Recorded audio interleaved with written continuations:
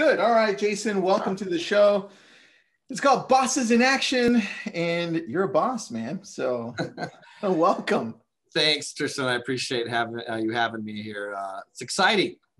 So, dude, I, I, did a little bit of research on you. I hit your website. The thing that stood out, which made me laugh, so that means you have a sense of humor.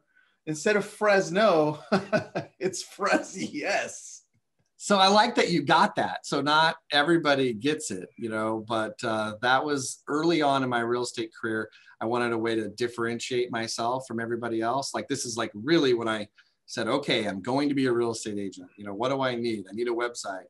And everybody in that I could find just had the same sites, right? There was a picture of their big mug, and you know, sometimes they were holding their thumb up, you know, but they just had listings. They had no no, no content, no nothing. And at the same time, I'm kind of a positive guy. And so, you know, people make fun of Fresno in, in movies and Karate Kid. I mean, there's a whole list of, of, of movies where they poke fun at Fresno. And I've traveled a lot. And I think we're a pretty good place to live. So one thing led to another. I thought, there is no way I can buy that domain.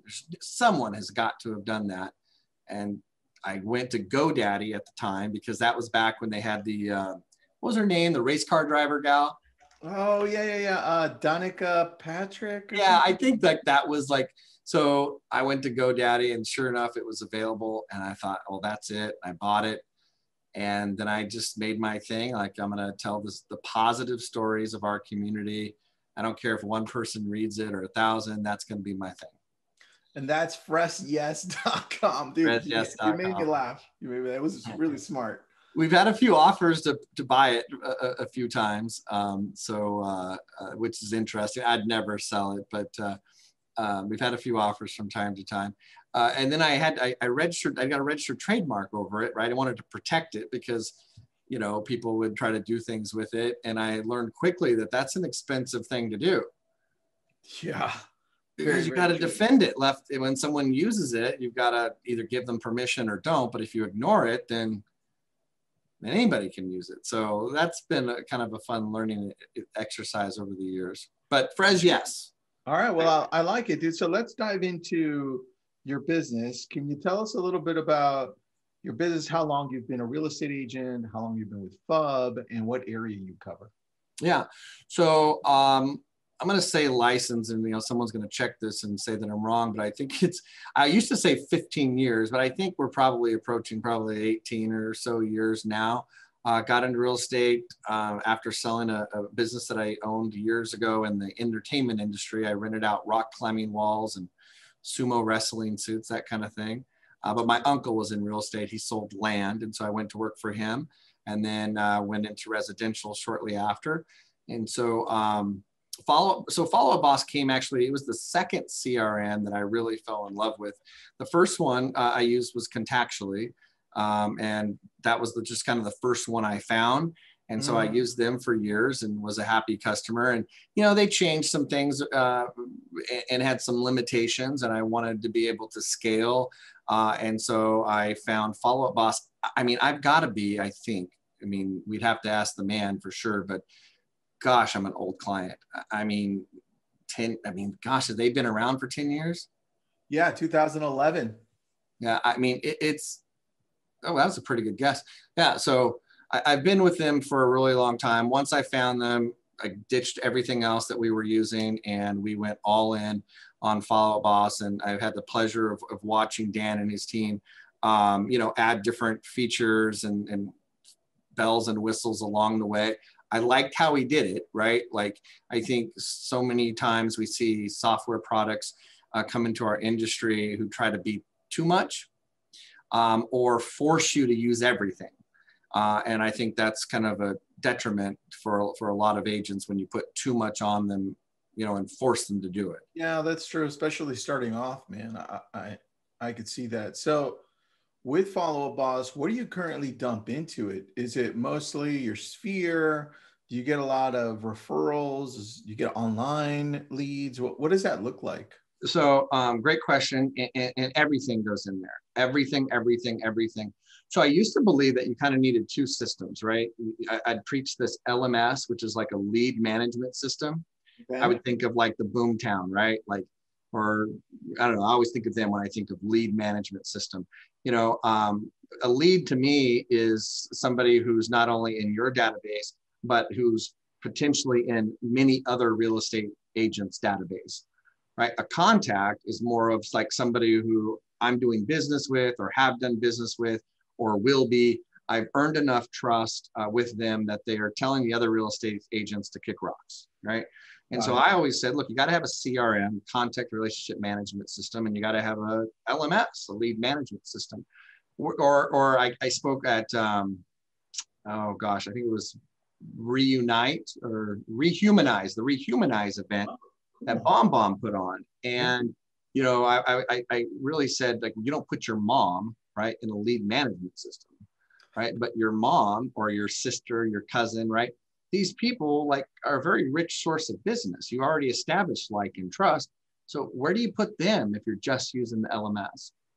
So what I like about Follow Up Boss is that you know you can put everybody there if you use their system, you know, smartly.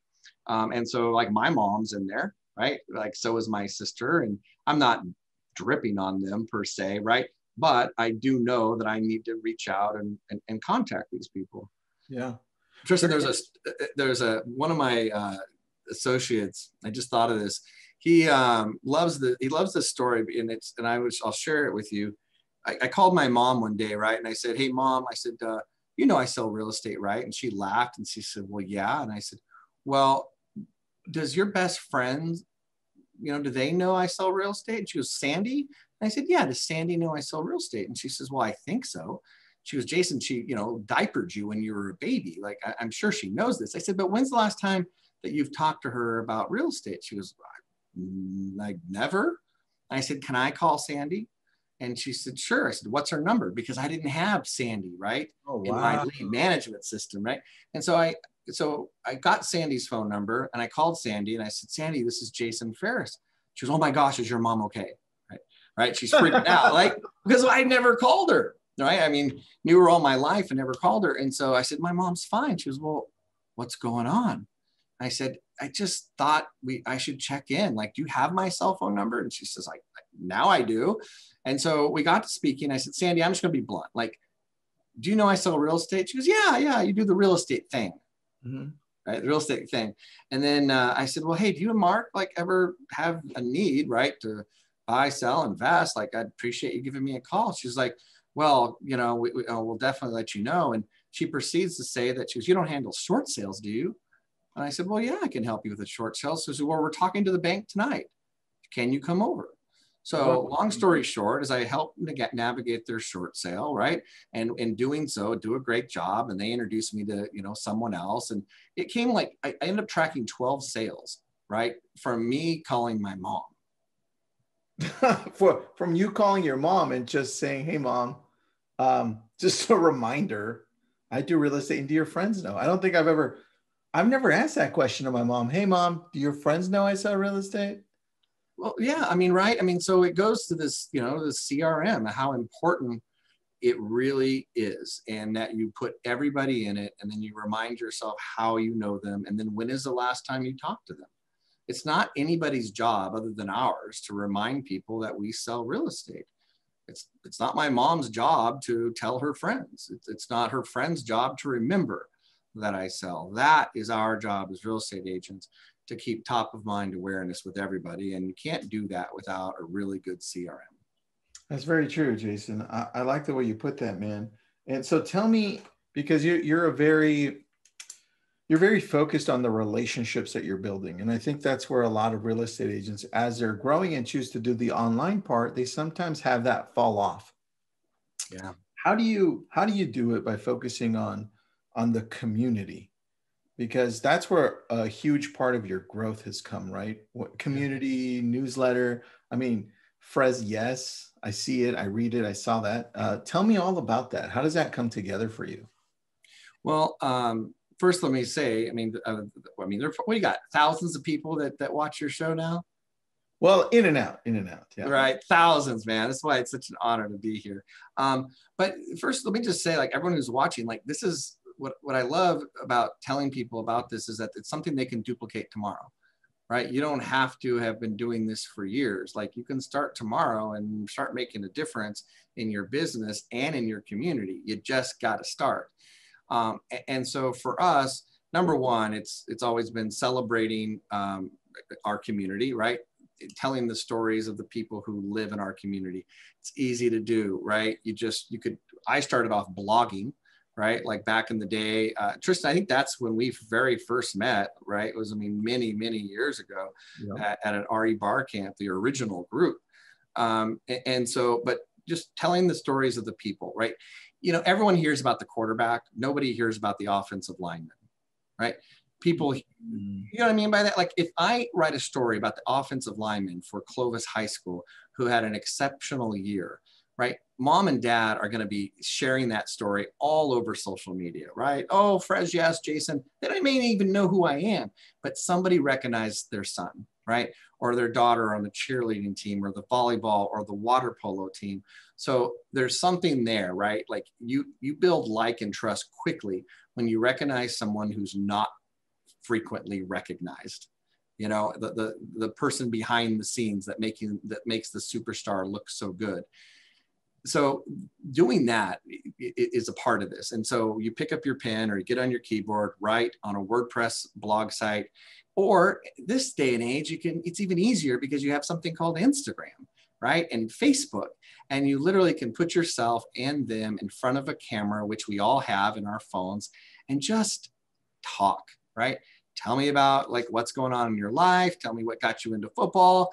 You know, like tell me what happened on that play on Friday night like you may not think a lot of people are interested in it but they are like the people are interested in what's going on in each other's lives and so you just have to kind of nudge people along a little bit to share more about them and so that's what we've done we've got over 8000 stories on fresyes.com you know and we've got like some major changes that we're making to the site here soon um, people kind of give me a bad time about the site. They say, you know, it's not all glossy, you know, and like typical real estate agent site art.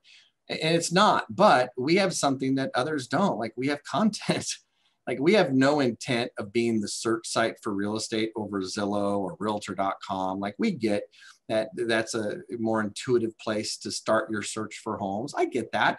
But there's also something that people say, well, like I want to know where the best burgers are, or you know, I want to know like about the zoo because my kids are really into animals. And does Fresno even have a zoo? Like, so they can search on our site for content. We got a call one time, Tristan. Guy calls my cell phone and just says, "Hey man, I wanted to thank you. You helped my wife and I figure out where we wanted to live." yeah, in, in, Fresno. I said, oh, great. I'm happy to, you know, I'm, I'm, glad I could do that. Like, can you tell me a little bit more? Like, how did I help? And he said, man, we're big burger fans. And like, you had a, a, a list on your site about all the different burger places to try. And so we went around and tried them all as we were, you know, renting. And we eventually figured out where we wanted to live based upon the best burger in town. Right. But it, it was so meaningful that he called. Right. And of course, then, then I asked, I said, well, which one of my agents helped you? And he says, well, oh, I didn't know you sold real estate. Oh, God. So I'll tell everyone out there, right, that like that's been a challenge for us, right? That that fine line between always telling the stories of the community and making sure people know that at the end of the day, we're a real estate company. So, dude, I like this because now you can share with us the transition that you're you're putting this site into. So I'm assuming to make that more prevalent. Yeah, well, so we're going to do like a tiled website. So it's going to look visually much more appealing, but I'll just tell everyone right now because we're so close to launch. But like you'll, there'll be a, a picture of some amazing looking tacos, right? Uh, okay. In a tile, and you'll click on that, and that'll be the uh, a FresYes approved list of tacos sites, like places you can go to get tacos in Fresno. And then you'll have, right, of course, the, you know, preferred agents. Like these agents are FresYes approved and it'll be our team, of course.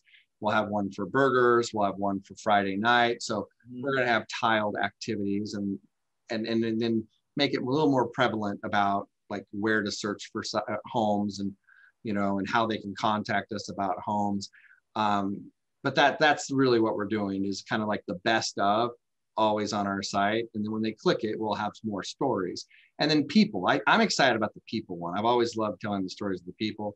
So mm-hmm. imagine a face of, or a picture of a weathered lady, you know, her, her, her face looks leathered, maybe her hands do too, and she's maybe 90 years old. And you're, you can imagine what the picture looks like. And, you know, you click on it, and then there's the story, right, of her working in the vineyards, you know, picking grapes, rolling grapes so they can be raisins. And she does this every day, even on Christmas, right?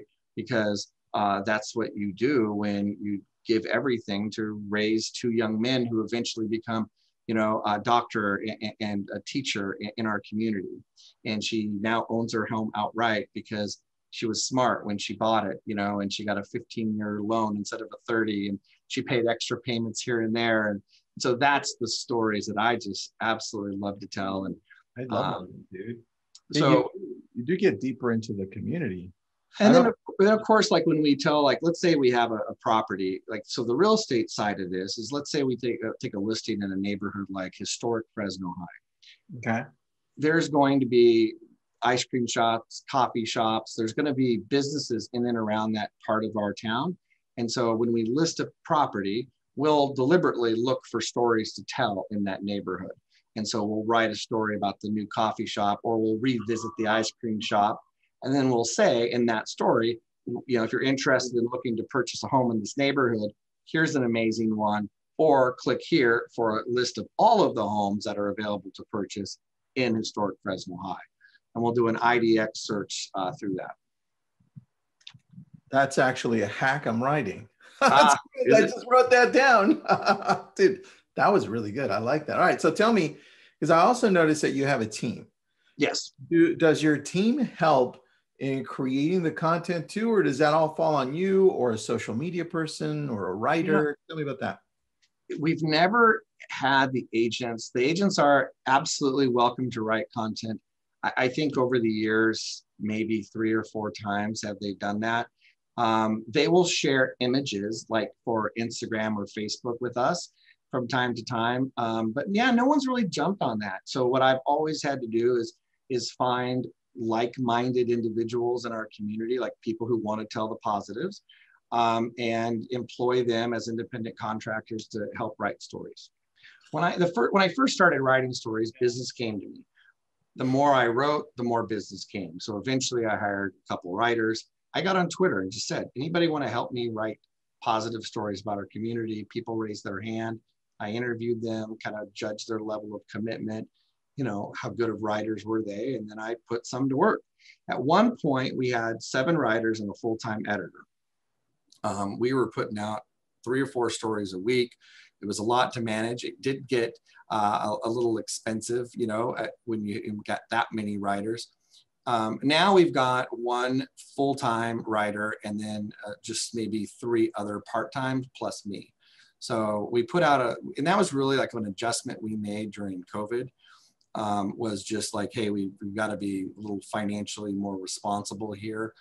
Um, so, although I'll tell you, the content I think that we put out during that time was, I, I think, exceptional. Like we put out coloring books, uh, we put out um, uh, scavenger hunts, we put out really cool stuff to support restaurants. You can go to our site at any time and find out who was open and when and how to get food delivered and who really needed the help and maybe who was okay. Like I think my team did an exceptional job. We do have a social media person, you know, who's who's putting out content for us.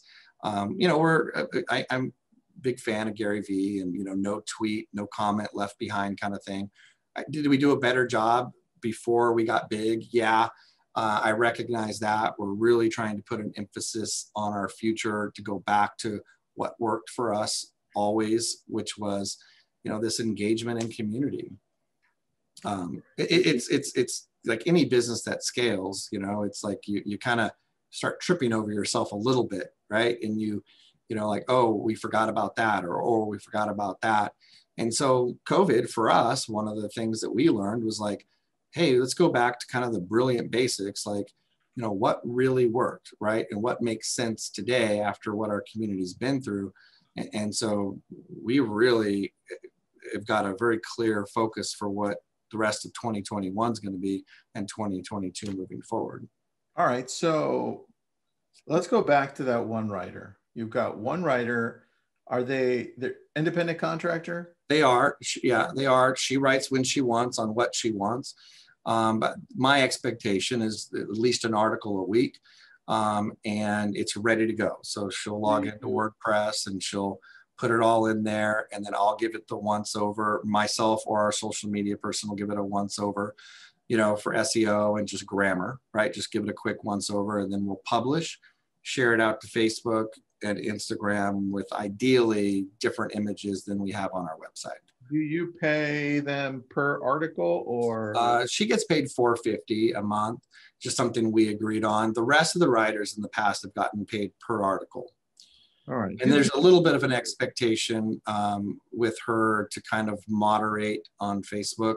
So if she happens to see somebody spamming our Facebook post or, you know, like trying to have a, a conversation, she has admin rights and she's going to jump in there and, and be our voice. She's been with us for a really long time. I like that, dude. Yeah. Past client, past friend, you know, someone who taught me a lesson early on in, in business. In fact, um, she was a Zillow lead. Um, I mean, this goes back, Tristan. I mean, I, I, I, don't know, 11, 12 years. I mean, I, would have to look it up. But um, she was a Zillow lead, and I responded quickly to her, right? Like, you know, speed to lead. I was always really good about that. And then I made a commitment to call her back between five and six, and I didn't. So it was about 6:15, and she called me and says, "Hey, like i'm not sure if you're our person or not like you made a commitment to call between five and six and it's 6.15 we haven't heard from you and like we're looking to sell like we're looking to buy and and i you know like i was wow okay no i am your person like i won't be i won't be running behind again like you know and i i was able to save that right and, and she's bought and sold and and uh, referred me so much business I couldn't even count. Like actually, I could count. I could go into Follow Boss and tell you exactly how many, um, because that's important too, right? Like you know, like where our business comes from and yep. and being able to source it for life. Dude, I'm I'm digging this whole idea that that you have. I'm that you, you've had this for such a long time. I always tell people, you know, it's cool that you go on Zillow and Realtor.com. There's nothing wrong with that, but they're using you, so use them, right? Just be smart about it. Yeah. But the idea behind it is to go all in on Google. You, you, I mean, Google, the most visited website on earth. It's Google and YouTube, and yeah. you're doing it right. Where now you're going to incorporate both more a more pronounced website along the lines of real estate with a lot more local content, right? And I, I do I do see you winning big there because now I'm like dude, one article a week, that's that's pretty awesome. That's 52 articles a year, all localized. It's funny how it adds up, you know, like I had my web guy do the count like the beginning of the year, and I went, wow, that's a, we've really put out a lot of content, you know. Um, we got an alert. We had um, 100,000, our, our hosting service contacted and says, look, you're hitting a 100,000 people coming to your site a month like you got to kind of step up your plan and man are we which is surprising. I just i mean i think back to our early days and we never hit that kind of number and you know we're bumping into it now. And so it, it encourages me to kind of keep my foot on the gas and you know let's put out more. Um, the other thing uh, is is the newsletter our, our local our newsletter that we put out. Like i know we have a big audience of real estate agents out there. You know it, it, and i just want to say it's not the newsletter that has like you know, copy and paste Betty Crocker uh, recipes in it, you know, and, and, and not, oh, turn your clock back. Like it's, or not just real estate, but it's, you know, you create some content, you put it in a newsletter and uh, you share things that are of interest to your community like events. Like people are always wanting to know where what's going on this weekend. Where can i go to have a drink or go dancing? Or you know is there a drive-in movie that's open? I mean it, it, it was a little bit of a struggle during the, COVID. But you know, now that things are opening back up, like our newsletter is just rocking again. We're getting so many people opening our newsletter, forwarding it, sharing it. Um, it's one place. People like to get all their information in one place. Oh, can we talk on that really quick? We got about three, four minutes, dude. I want to do a part two to this because I think you are creating the base to what the future agents, teams, and brokerages need to create as we shift into this new world because people don't realize how important email newsletters are nowadays. And and what you're doing with SEO is is genius. I love what you were doing before. Because I, I, take notes on all these and you mentioned that at one point you're like dude everybody write. You had a whole bunch of writers. And i love that idea. Now now my brain's going but here's my question. The newsletter how often do you send it mm-hmm. who do you send it to and what does it include Yep. So we have two newsletters that go out. Friday, we have our What's Hot and Happening. So that's all about what's going on in our community, right? Fresno, Clovis, Madera, Central Valley. Mm-hmm. Um, and so, and we just link, we, we do a lot of links out, which I know some people would kind of frown on me to be sending them to other pages, but um, it's opening up a separate window. So we're, you know, we do know that. Um, and so that one's got a really good open rate, about 85% open rate, which is that's insane. It's dude. insane. I can't, I just, that's our most popular newsletter. Wow. Not as much work goes into that one as the Saturday newsletter, but the Friday newsletter is by far a more popular if, newsletter.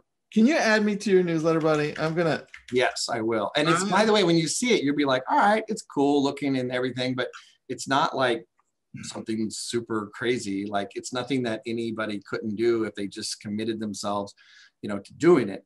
Now, I'll say one of the secret sauces behind it is the consistency, right? like it goes out every Friday, like without fail. Once a week. Um, the Friday one has been going on for about three years. The Saturday one has been going on for 12 years. So for 12 years, every Saturday, I have sent out a newsletter at 8 a.m. With the exception of one Saturday, MailChimp messed up and it just didn't go out. And so by 9 a.m., I had an inbox full of people saying I've ruined their morning because I've interrupted their Saturday routine. And that please tell me I haven't stopped doing the newsletter. Wow. So by 9 a.m., I had figured out that what went wrong and I hit send and everyone got the newsletter. But other than that, it's been 8 a.m. consistently. Even if like I had no power one time, I was writing it with my phone and I still made sure we put something out there because we become so part of everyone's routine because it's every Saturday. Tristan, you'll love this. And I, just people, and now I'm trying to, I'm going to leverage. I've, I've, been, you know, there's been a lot of conversations recently about virtual assistants and how they can help bosses do more, right? Yep. Admins do more. And so I've been thinking that I need to get a VA to help me bring something back that I used to do, which was when someone unsubscribed from my newsletter, huh? I would reach out to them right? Sometimes we'd have their phone number, right? They put their phone number in when they originally subscribed. Other times we would just have their email, but regardless, I'd pick up the phone, I'd call and say, you know, hey, Michelle, this is Jason with FresYes.com. I notice you unsubscribed from our newsletter, right? It's an awkward moment, right? Because they don't know that you see that. And I'd say, hey, I understand, and I'm not mad or upset. I said, except at myself, because I'm trying to provide value for our community. And somewhere along the line, I must have failed right? So what can I do to earn your trust back so that you can resubscribe? What would you like to see in the newsletter? Like you want to wow. see you want to see more food? You want to see more homes? What do you want to see? Then they tell me. Dude, that is say, will you give me a second chance? They would, and then they'd resubscribe and they'd tell all their friends. Dude, all right. Part two and part three, because I'm already thinking Ed. Part two is going to be all about your newsletter. All right. All right. Fair enough. I want to know. I want to know a lot of info, and and I already have a few people throwing in their email address. I don't know if you're going to get those. I, I see that, and I, and I'll definitely grab them and subscribe them. If you're an agent, subscribe, copy, duplicate it. You know, it's a fantastic tool to connect with people in your community and and drive business. We have a featured property in there, Tristan. That's one of the things that's in it. Uh, we have coming soon, which you know. Sh- right, uh, in there. And then we have one search button. So if you want to search for homes in this neighborhood, click here. And then we have our, you know, snippets of original content that we create, you know. Dude, uh, I feel like the next stage of what you're doing, which is bringing in that new website, I feel like that's going to just bring it all together. I think so. Dude, that is exciting. When does that go live?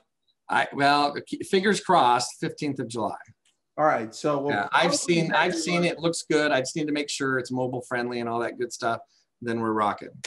All right, so let's plan on August sometime. I'll have I'll, I'll Barry I'll Barry will reach out to you. We'll make it we'll make it happen, dude. I'm just gonna I'm gonna you know me. I'd love to. Yeah. I'm gonna copy these emails so you don't have to copy them, and I'll send them over to you. Thank you. I appreciate that. We go. Just did that. Well, dude, and what areas you hey, do you cover Yosemite or, or that area? Because we, we do we do yeah we do mostly Fresno, Clovis, Madera, Kingsburg, like the Central Valley. We'll go up the hill uh, for the special clients. All right, man. Well, uh, I might have a referral for you, which is funny that way. That I, the last person we interviewed was sent him a referral too. So. Oh well, perfect. You're you gonna have a list of agents, you know, wanting to be a, a guest. I'm really honored. You know, I've been a, a huge fan of what you've done.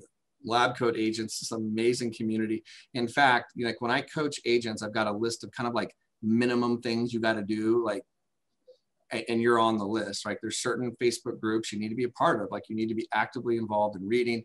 You got to have a great CRM. You can't be a secret agent. Like I just have some requirements, like minimum expectations. And you've been on that list for years. Thanks, man. That's super sweet. I, I appreciate that. Well, I'm a big fan of yours. Holy cow. I'm part two and three. All right. All right, brother. I'm down. Thank you so much, Jason. Thank you. you. Thanks, everybody.